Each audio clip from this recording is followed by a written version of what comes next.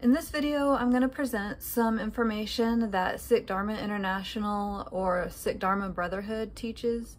Um, they have their own separate code of conduct. It's called Victory and Virtue, Ceremonies and Code of Conduct of Sikh Dharma.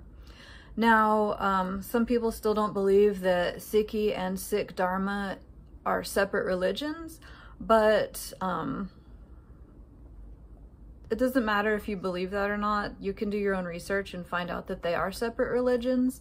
Um, they have their own uh, tax status here. They have their own separate um, rules to follow. And uh, they themselves acknowledge that they're a separate religion. And so I wanted to feature some of their different rules that they are teaching. Unfortunately, they blend Sikhi with their own religion, so if you don't know the difference, it's hard to understand the difference. They actually do teach that Sikh Dharma is Sikhi because they claim that it came from Guru Nanak and that it's part of his uh, lineage of teachings. But as you'll be able to tell from what they're teaching it's very clearly not part of Sikhi and not part of Sikh teachings. Here they say, um, Sikh Dharma is sprouted from the seeds of the word spread by Guru Nanak.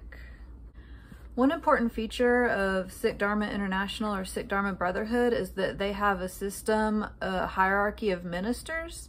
So if you become a Sikh Dharma minister, you have to take these vows and these vows were created by Yogi Bhajan. So you probably know that um, there's no such thing as a hierarchy of ministers in Sikhi, so this is only a Sikh Dharma thing. Part of the Sikh Dharma minister's duties, as you can see on page six, is the practice of Kundalini Yoga.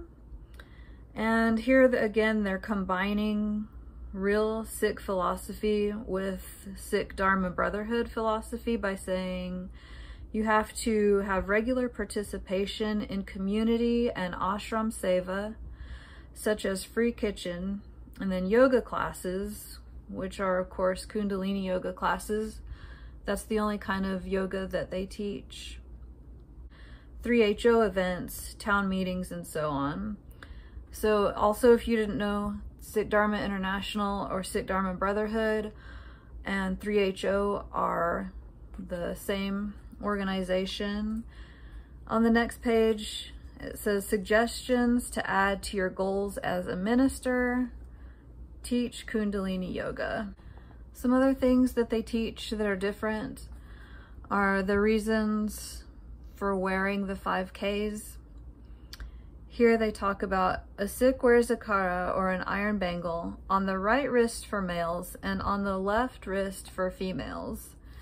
In Sikhi, you basically wear that on your dominant hand. It doesn't matter what gender you are. Also about the karas, other than the male and the female wearing them on different wrists, which isn't true, they talk about kachera, and I'll just read this paragraph. Um, the false part says that calcium is controlled by the thigh bone through its sensitivity to temperature. The Kachera keeps a warm mantle of air surrounding the thigh and protects it against sudden temperature changes. The Kachera maintains the polarity of the second chakra in relation to Ida and Pingala, the left and right polarities of the human energy system obviously is not why people wear kachera and it has nothing to do with Sikhi. And then on the next page, he says, the following are the daily banis given by Guru Gobind Singh and their relationship with the five tattvas or elements. And he's naming ether, air, fire, water, and earth. Um, again, those are not really related in that way in Sikhi. In the last part of the book, there are some copies of documents in this document, uh, Yogi Bhajan proclaims, I'll just read this, therefore, I hereby proclaim that henceforth that offering given by the Guru at the conclusion of each Gurdwara service, and included in the Ardas shall be known as Guru Prasad, and shall not be referred to as Kara Prasad at any time. This proclamation is hereby adopted under the authority granted to me as the Siri Singh Sahib of Sikh Dharma. Again, Sikh Dharma is the separate religion from Sikhi. I set my hand and seal on the February 22nd, blah, blah. So he's saying he has some authority to change this vocabulary, which he obviously didn't. Doesn't even make sense. So we have what's called Ardas, translation by Guru Kiran Kaur Khalsa. In this translation, she says, let us look to the Adi Shakti, the primal power. And then one of the most important things, then we can know that Yogi Bhajan was not included in in Ardas. They do include his name in their Sikh Dharma Ardas, and it says, Please give thy blessings to Siri Singh Sahib Ji, so that he may always live in thy infinity. Uh, so in their Ardas, they include blessings to Yogi Bhajan, which is gross and ridiculous. There are many other uh, rules in this book. Um, a lot of them are true Sikhi and a lot of them are complete made up rubbish by Yogi Bhajan.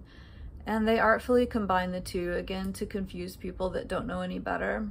If you want to know more about Sikh Dharma International, Sikh Dharma Brotherhood 3HO as the separate religion, definitely just do a Google search because all of the information is out there. Um, nothing is secret. I'm not saying anything new. Um, please do your own research if you're interested.